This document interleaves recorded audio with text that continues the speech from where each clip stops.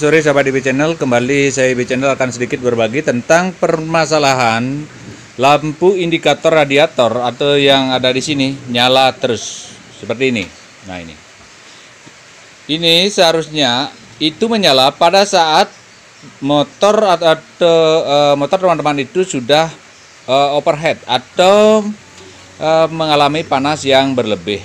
Itu biasanya terjadi karena uh, air radiator yang eh, sirkulasinya tidak bagus sehingga motornya overheat artinya terlalu panas. Terus di motor ini berbeda sekali teman-teman. Ini tetap menyala walaupun motornya kita hidupkan, ini juga tetap akan menyala seperti ini. Nah, dia tetap masih menyala. Padahal motornya ini masih dalam keadaan dingin. Nah, jika motor teman-teman mengalami hal seperti ini, itu besar kemungkinan bukan permasalahan pada sirkulasi air radiator. Nah, itu menurut prediksi saya sementara. Nanti kita akan lihat. Uh, menurut uh, menurut prediksi saya dulu sebelum saya melakukan pengecekan, kemungkinan ini terjadi karena uh, switch atau indikator yang ada di bawah di sini bagian sini itu yang bermasalah. Itu ada sensornya ada di bawah yang di sini ini. Ini yang bermasalah atau kemungkinan yang kedua adalah terjadinya uh, konsleting daripada kabel body sehingga dia akan terus mendapatkan arus. Begitu teman-teman. Untuk memastikannya saya akan melakukan pengecekan di bagian sini dulu. Nah biar jelas ini cover bodinya saya akan buka dulu. Nah setelah cover bodinya ini saya lepas, kita hidupkan dulu di sini. Nah.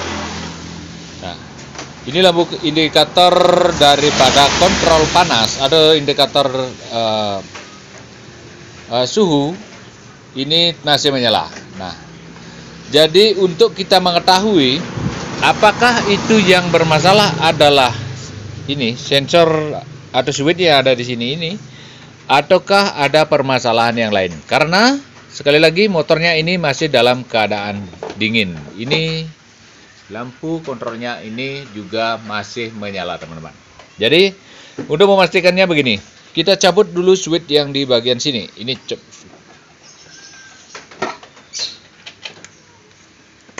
nah ini. Setelah kita cabut kemudian teman-teman amati. Amati yang di sini. Apakah ini masih menyala atau tidak? Kalau seperti motor ini ini masih menyala. Jadi ini mengindikasikan bahwa permasalahan itu bukan ada di sini. Karena begini, ini fungsinya adalah menghubungkan. Jadi, kalau kita cabut otomatis eh, kedua arus ini seharusnya terputus. Begitu teman-teman. Jadi, kalau kita cabut masih tetap kontrol yang di sini ini menyala, artinya ada permasalahan yang lain dan kemungkinan seperti apa yang prediksi yang nomor dua itu yang uh, penyebabnya yaitu terjadinya konsleting ya atau kabel ada yang connect dengan masa. Nah kita akan membuka di ya, mengecek di bagian daripada uh, kabel yang ada di bagian depan motor ini. Oke, sekarang kita periksa di bagian ini bagian kabel depan yang di sini. Uh, di sini ada ber banyak kabel teman-teman. Kabel di bagian sini dan yang sering terjadi itu adalah permasalahan di sini. Nah, nah untuk motor ini ternyata permasalahannya ada di sini. Di sini, di kabel yang di sini teman-teman, yang di dalam sini.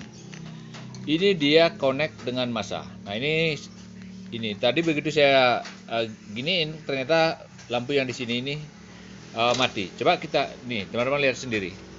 Ini saya goyangkan di sini. Nah, itu mati. Tapi begitu ini saya tarik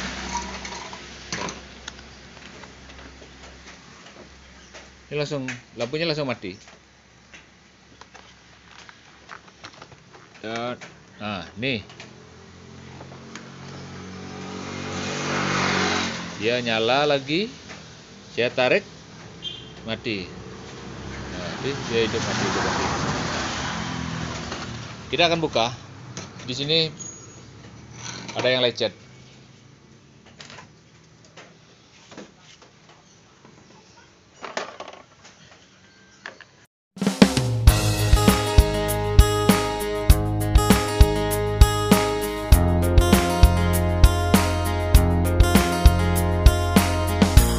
Oke teman-teman, ternyata penyebabnya ada di bagian sini. Di bagian sini ini uh, kabelnya dia lecet nih, nih. Ini dia ini lecet. Nah, ini. Ini lecet di sini nih.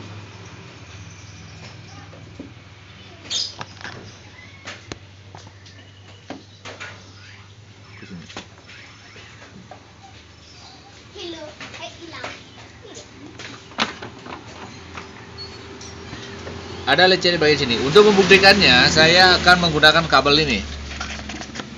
Nih, satu ke bagian negatif daripada aki dan yang satu lagi akan saya tempelkan di sini, teman-teman, di sini.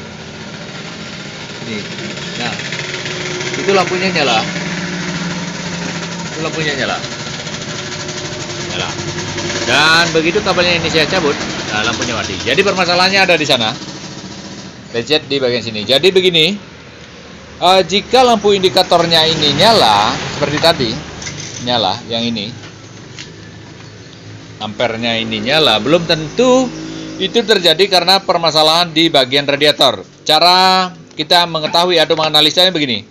Jika lampu indikator panas atau indikator radiatornya ini menyala dalam keadaan motor dingin pun dia menyala, itu kemungkinan switch atau sensor yang di bawah itu yang bermasalah atau terjadi permasalahan di bagian uh, kabel body mungkin ada yang konslet. Begitu teman-teman tetapi jika terjadi pada saat motor teman-teman itu di bawah jalan beberapa uh, kilo itu baru dia menyala dan pada saat dingin tidak itu mengindikasikan bahwa itu ada permasalahan di bagian sal sistem pendinginan daripada motor.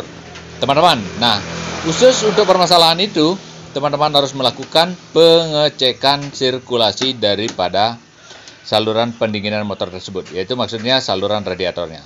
Jadi, teman-teman gak usah panik kalau di bagian sini menyala. Lak, uh, lakukan tip-tip seperti apa yang saya ungkapkan tadi. Nah, jadi teman-teman, cuma itu yang bisa saya bagi di sore hari ini. Semoga ini ada manfaatnya buat teman-teman semua. Jadi, uh, selamat sore dan terima kasih.